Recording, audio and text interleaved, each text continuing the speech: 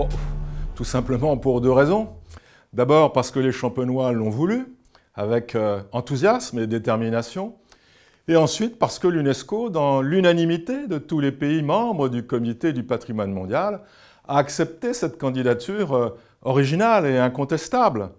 C'est le résultat, la consécration de huit années d'efforts, de travail, de persévérance.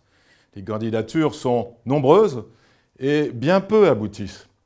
Pour figurer sur la liste des quelques 1000 sites les plus remarquables et les plus prestigieux dans le monde, dont une petite quarantaine en France, il faut démontrer ce que l'UNESCO appelle la valeur universelle exceptionnelle du bien, c'est-à-dire qu'il faut prouver que ce bien est unique, sans équivalent dans le monde, et qu'il doit, à ce titre, être protégé et mis en valeur pour toute l'humanité, présente et future.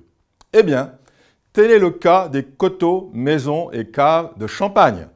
Les paysages viticoles formés par le travail des hommes, les caves creusées dans la craie au fil des siècles, l'appellation d'origine contrôlée Champagne, de renommée internationale, symbole de la célébration, de la fraternité, de la réconciliation et de la paix, tous ces éléments culturels constituent un ensemble remarquable et exceptionnel.